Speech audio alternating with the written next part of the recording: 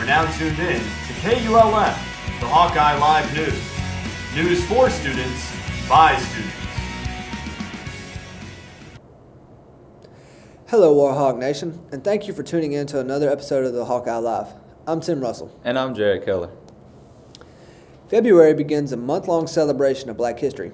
We recently called up to some ULM administrators and got their opinion of the importance of these events and what's going on around campus. February is Black History. Month. ULM pays homage to the many influential African Americans by honoring them in various events. Dr. Pamela Salisbury talks about the importance of bringing influential African American leaders to campus. I think it's extremely, I really cannot um, emphasize that enough. I say just how important I think that is. It, it's important for students to see not only the professors out in the community doing this or that, say if, if someone's a professor of, of, music, to see them in a concert, or, or someone like myself, social worker, uh, see them out doing, providing some kind of social service. And I, I, think, though, it's not just important for that person in social work or that person in music or that person in journalism to see. I think it's important for everyone to see because, again, it's part of the education. It's part of the, uh, uh, to me, promoting what this specific event is all about, or this month is all about. Dr. Brumfield speaks about the various events hosted by ULM during Black History Month. We've been very fortunate to have had two great alums to come in this week, and uh, we hope that uh, toward the end of the month we will be featuring a gospel concert. And that concert uh, will, the choirs will sing songs of freedom. That's the theme for this year. The past influences that African Americans have had on society are great and are celebrated by students on ULM's campus. Valentine's Day is quickly approaching.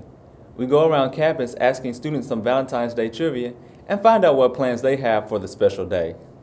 Valentine's Day is just around the corner, and that means love is in the air. Students tell us what they have planned for the special day. Mine are delayed because my boyfriend has a night class. So, uh, no, no. Well, I just got engaged not too long ago, so. Maybe mini golf, some dinner, you know, I, I mean, I always want to play mini golf, and dinner movies overrated because everybody does it. So maybe like mini golf, walk in the park, something to really get to know before.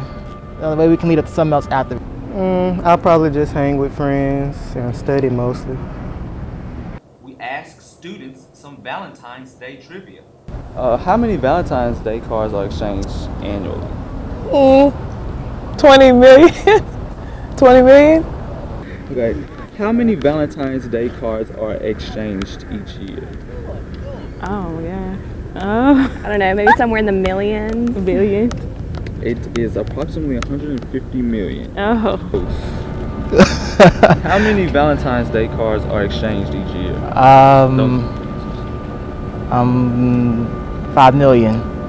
Close, 150 million. Holy crap. With all the frenzy that surrounds Valentine's Day, Hopefully students will keep their significant others in mind and get to spend time with their loved ones.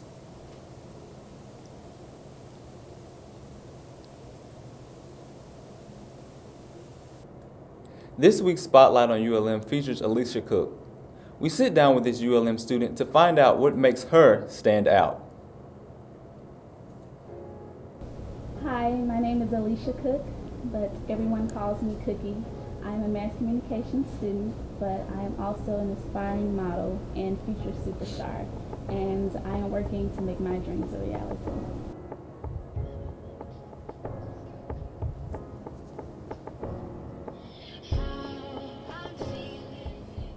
We're here with Alicia Dion Cook, otherwise known as Cookie. Um, how did you get into the world of modeling?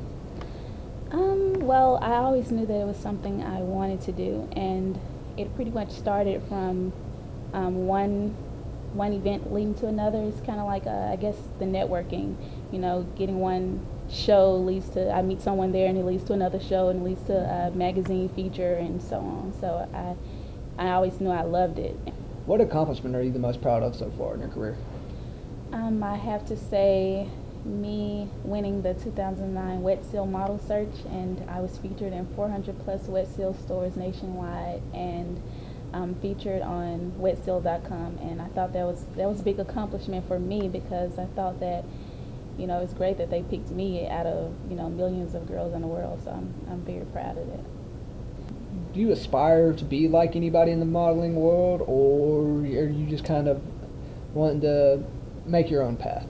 Um, I do want to make my own path, but I feel that there are some ladies who have uh, created a, a, path that I would would like to follow as well, like um, Heidi Klum and Tyra Banks. I know it's a little cliche, but I um, admire them because they um, are they have some of my future goals, which are like Tyra has has a talk show, is something that I, I want to do in the future, and also I want to be able to offer girls um, a chance to you know fulfill their dreams, like Heidi and like Tyra have done on their shows. So, you know, I admire that about them.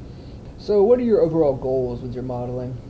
Uh, my overall goals, um, I really want to be on the cover of Vogue. Actually, I want to be on the cover of, of, every magazine that people pick up. I want to be so, I want to be well known. You know, I want everyone to know my face. Hiring to break into the industry, what advice would you give them?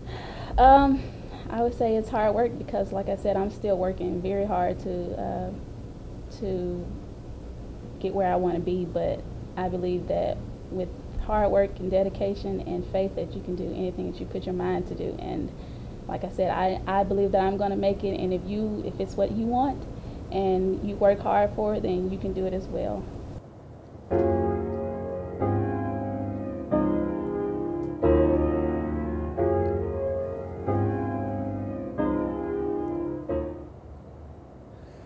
Well, Hawkeye Nation, that's it for another edition of the Hawkeye Live. Remember to pick up a hard copy of the Hawkeye newspaper on newsstands every Monday.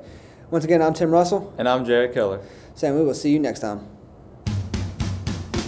The Hawkeye Live is a production of ULM Mass Communications Department.